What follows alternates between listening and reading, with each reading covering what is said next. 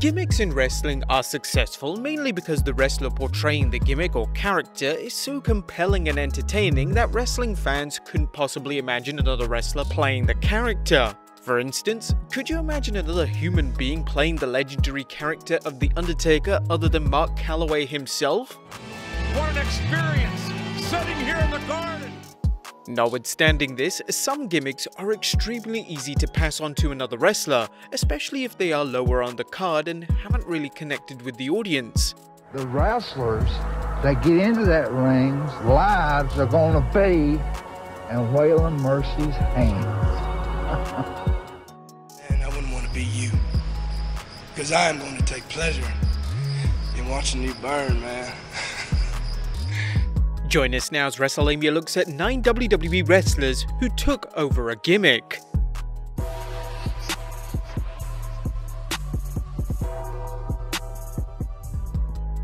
Be sure to subscribe and hit that notification bell for daily wrestling videos. You've got to be kidding me. You think this is funny?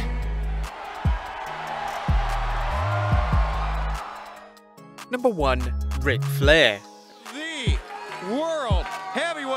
Champion, Nature Boy Ric Flair with us. Ric Flair is well established as the Nature Boy. However, he wasn't actually the first wrestler to use the gimmick. Buddy Rogers would be the one who actually created and first used the famous gimmick. The good Lord made me, he threw the mold away when it comes to the wrestling business.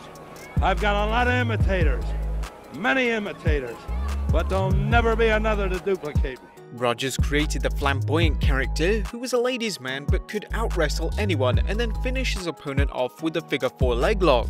Rogers would be the first ever WWE champion, and after he lost the title to the legendary Bruno Sammartino, who would go on to have a near 3,000 day reign as WWE champion, Rogers would go into semi-retirement. I'll run at him, I'll put the title and the belt on the line anytime that they come up with the price that I want.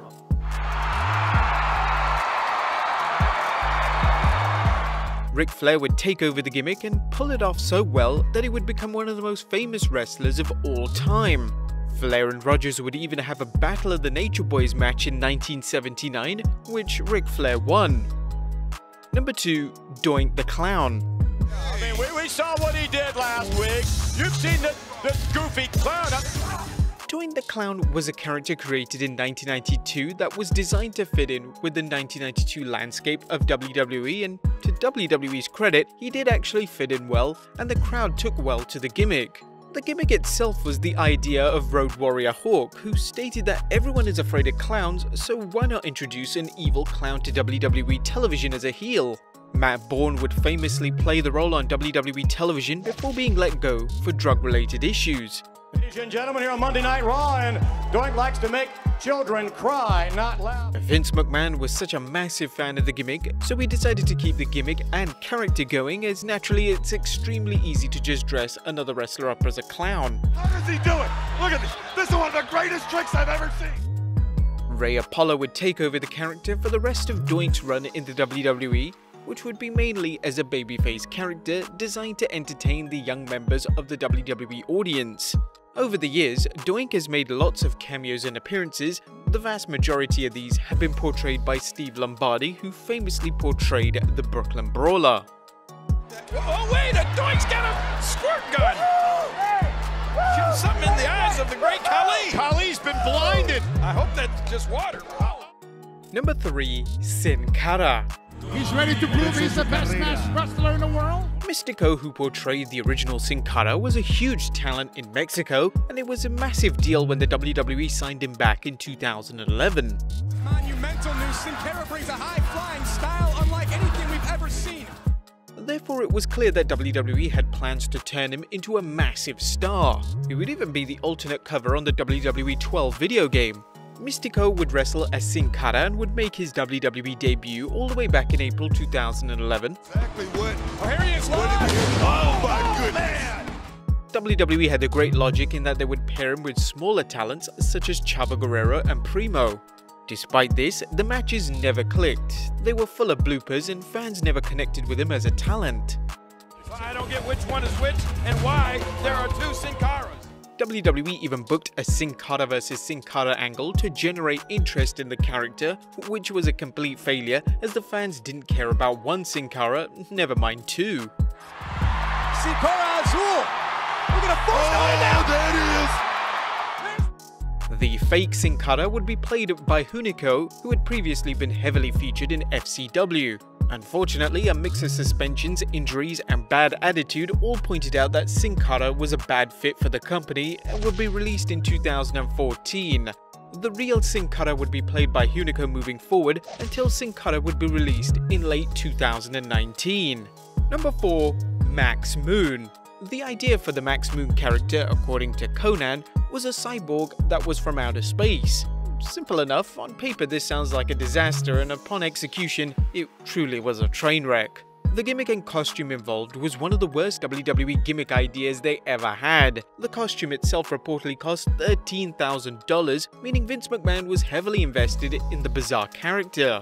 The character would debut in 1992 and would be portrayed by Konnan, who would be well known for being a member of the NWO in WCW later on in his career. The gimmick fell flat instantly and Konnan opted to leave WWE due to backstage issues.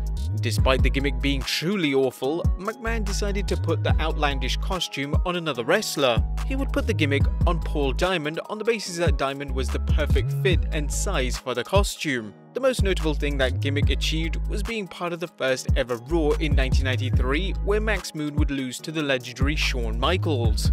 Number 5. The Legion of Doom. They hurt our pride! Right. They hurt the Road Warriors' pride!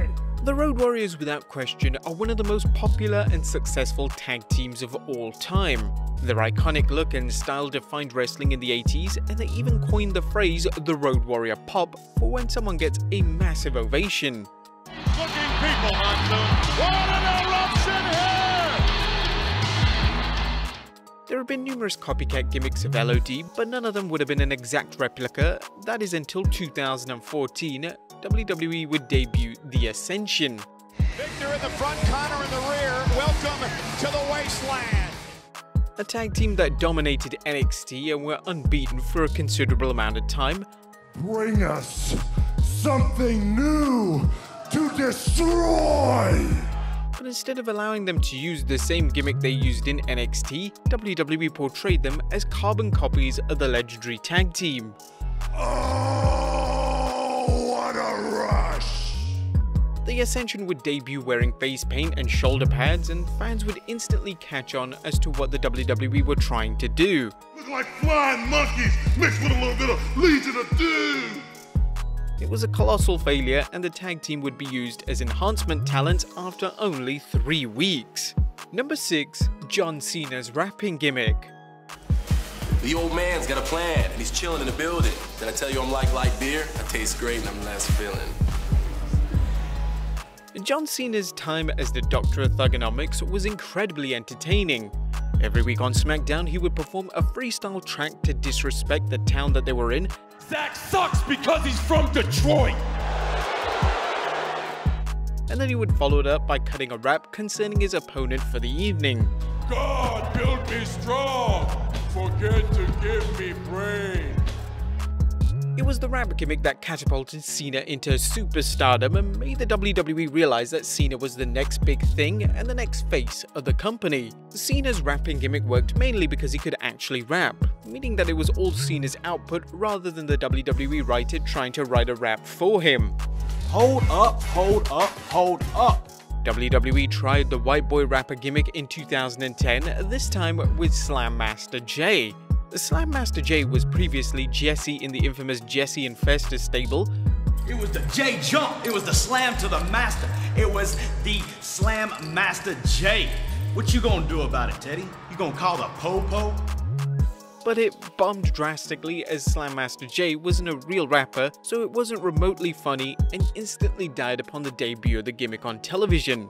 It was made even worse that when Cena did the gimmick, WWE was TV 14, meaning boundaries could be pushed. However, in a PG environment, it was never gonna work. Number 7. Hulk Hogan's All-American Babyface Gimmick is stepping into the ring with that WCW logo in the background and beating each and every contender. In 1993, Hulk Hogan jumped ship and joined WCW. Vince McMahon and the WWE quickly needed a new star to replace Hogan, and McMahon looked towards Lex Luger for his role. Luger had previously been a heel in the WWE with a narcissist gimmick that worked well for him, but it was nothing special and wasn't main event material. So McMahon used a copy and paste formula of using Hogan's established all-American loving babyface gimmick and simply used it for Luger and hoped it could catapult him into the main event scene.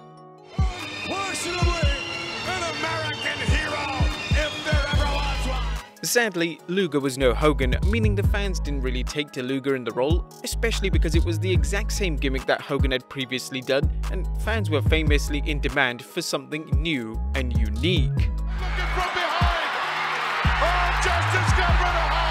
Oh, Number 8. Diesel Look at the adjective. Play. We ain't here to play.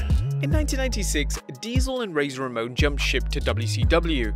Vince McMahon had the belief that he could simply replace the gimmicks the two men were famous for and carry on the gimmicks despite the absence of Kevin Nash and Scott Hall. WWE would then use Glenn Jacobs for the role of Diesel, but despite Jacobs' talent, the gimmick flopped instantly. Fans were very confused as to why a new wrestler was suddenly pretending to be Diesel, and they just never really reacted positively or negatively to it. It was just a state of confusion from the audience. It appeared that the storyline was done just to mock the former WWE champion, as McMahon was bitter that Nash went to WCW. The measuring stick just changed around here, buddy. You're looking at it. Luckily for Jacobs, his next gimmick as The Undertaker's brother Kane would go on to make him one of the most legendary wrestlers of all time. At number 9, Razor Ramon. Now, as well as fake Diesel debuting in 96, WWE also decided to debut a fake Razor Ramon at the exact same time.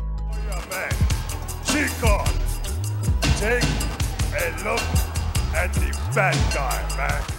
The fake Razor would be played by Rick Bogner, who had a brief stint in ECW, but nothing too notable prior to his WWE run. The fake Razor would even cut promos in the style of Razor that came across as comedic, and it was downright awful. You didn't get enough of Big Daddy Cool and Razor Ramon and Mind Games? I've got nothing against Rick Bogner and he probably tried his best with the role, but they were always met with utter silence from the audience. The fake Razor actually won several matches on television and was even featured on a pay-per-view during the time, but it was clear that Vince McMahon thought the changeover was working at first. The gimmick alongside the fake Diesel will be dropped after a few months, and the gimmicks would be notable for including some of the worst ideas that WWE have ever brought to television. But there you have it guys, 9 WWE wrestlers who took over a gimmick. Are there any more we should know of? Let us know in the comments down below. Subscribe if you haven't already, follow us on Instagram and Twitter, and I'll see you next time with some more wrestling content.